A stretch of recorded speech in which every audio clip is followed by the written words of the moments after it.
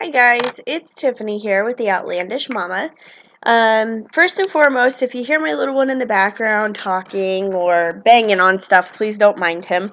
He's a rambunctious little one-year-old, so. Um, I'm making a video for you today because um, there have been some questions on how to get your patterns into the Silhouette Studio. So I'm going to show you the steps that I take um, to show you how to import it and also just to drag and drop. Now, sometimes if you're like on a Mac computer, I have a PC, so sometimes if you're on a Mac, it doesn't always um, drag and drop, so I'm going to give you the alternative way. Now, the site that I'm on right here is pixelscrapper.com. I love this site. I pay, I think it's $20 a month but you get unlimited downloads for commercial use. It comes with the commercial use license.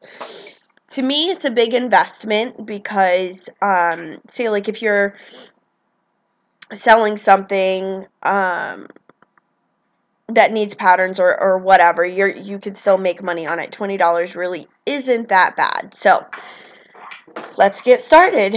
Um, I'm gonna pick this background right here I think it's super cute and it's um it'll go with a couple page flags that I want to make for my niece next month because her birthday's next month and she's very big into like pink and purples and stuff. So we're just going to download it here and it's going to go directly into my downloads file um, which is right there, as you can see. Now, there's a couple ways that you can do this. The first way is by just dragging and dropping. And what that does, I mean, you can just simply click it and drag it over here. It'll say move. Or you can drag it over here to my patterns or my clip art. Really, it doesn't matter if it'll if you can drag and drop it then that's awesome. That's the easiest simplest way to do it. Another way to do it if you cannot drag and drop is you go up here to files and you go down to import and then import into library and go to your downloads file. Now um, right here I always change the graphics file because sometimes people put it as like uh, Adobe um, or something else that you can't really find. So I always go to all files. That way it shows everything that I have in that file folder. And then find, as you can see, it's loading. It's being a pain.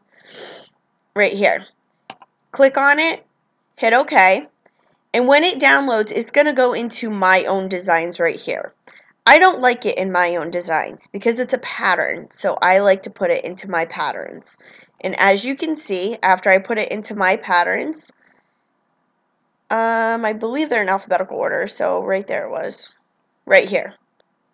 I do have two copies because I, I did show you how to um, drag and drop the this one before, so I'm just going to go ahead and delete one copy, and I didn't realize I had a copy of that one either. So um, I hope that helped. You can also rename it. If you look over here to edit properties, you can rename it. You can put keywords in there. Like you can add a keyword, and I'll just put plaid.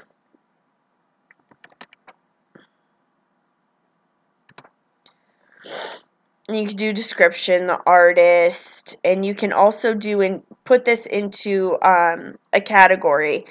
Now, I'll probably just put it into regular cut. Um, or actually, I won't even do a category, and I'll just hit close. So I hope that helped.